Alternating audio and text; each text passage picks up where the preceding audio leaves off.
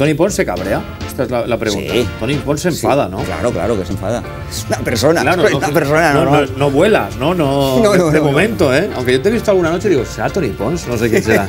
Pero claro, lógicamente ahí está tu, tu yo interior, tus técnicas, que es para mejorar tanto tú como, como a los De demás. hecho, yo tengo que decir que eso es una de las cosas que yo he intentado y he mejorado mucho porque yo tenía un mal pronto. Cuando veía que a lo mejor algo no se hacía como a mí me gustaría que se hiciera, o colaboradores, o, o siempre pagamos los platos rotos también con los más allegados, con los más cercanos, que normalmente es, realmente es la persona que más quieres también. Entonces, familia, amigos, los de más confianza, ¿verdad? Son siempre con los que saltas, sacas el mal genio y todo esto. Y es, es un trabajo muy interesante y que además ahora enseño porque muchas personas eh, eh, les ocurre esto, de autocontrol emocional. Entonces, de, de- sí, de- de tomar conciencia en el momento en el que están ocurriendo una serie de cambios biológicos, hoy no me voy a explayar, ¿no? Pero en la amígdala, en ciertas partes del cerebro, que te hacen ser, decir y, y hacer cosas que realmente luego te arrepientes, porque las haces de forma emocional. Eso se puede controlar. Y entonces en ello estoy yo también, ¿eh? en Fíjate ese qué trabajo. buen ejemplo hemos puesto. ¿De quién aprendiste tú o cómo fue aquel momento? ¿Estabas en casa viendo un programa de tele o qué dijiste? Esto quiero hacerlo yo, quiero cambiar mi vida. No sé, ¿cómo fue esa evolución? Bueno, realmente el- yo siempre digo que los comienzos se lo debo a- al karate tradicional, a las artes marciales tradicionales, porque ahí, con distintos maestros, aprendí lo que es eh, técnicas de hiperconcentración, de focalización de, de la atención, aprendí meditación, ahí se aprende, yo siempre lo recomiendo, recomiendo artes marciales tradicionales, es decir, eh, más allá, las competitivas también están bien, pero sobre todo karate tradicional, que es lo que yo practiqué, eh, puede ser aikido, puede ser judo, puede ser, pero siempre enfocado desde el, camino de mejoramiento personal, es decir, de luchar contra ti mismo y de ir mejorando tú, mm, no contra otros, sino en el camino propio.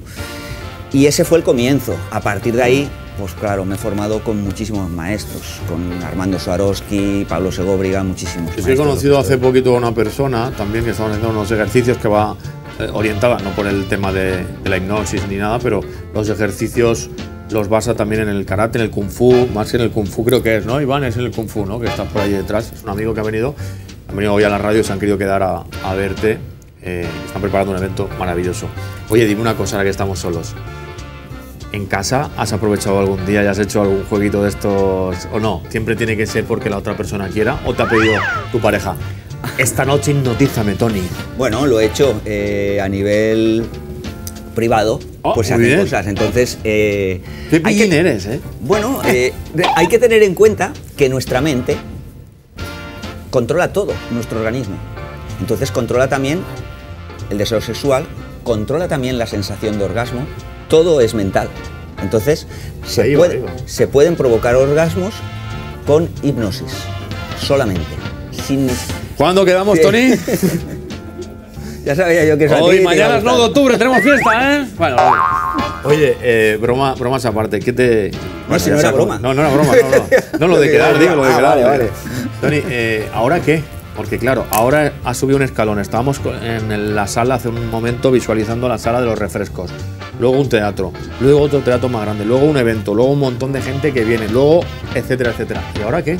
¿Qué pasa? ¿Qué, ¿Cuál es el yo- siguiente paso? Pues mi, mi sensación es siempre, de verdad te lo digo, porque a veces dice, ma, es de estar empezando. Qué bueno. De estar empezando, de verdad. Porque yo creo que en el momento en que uno se cree que ha llegado a algo, a partir de ahí empieza el declive. Todo eso estamos aprendiendo, claro. Entonces, yo estoy empezando. Pues, ¿el qué? Pues el, el- el- el ahora, por ejemplo, me estoy consolidando en Madrid, estoy en, Sí, sí. en Callao, en Gran Vía. Ahora empiezo en noviembre esta segunda temporada, ya la tenemos firmada hasta junio del año que viene. Entonces, pues bueno, eh, empezando, seguir progresando, seguir disfrutando.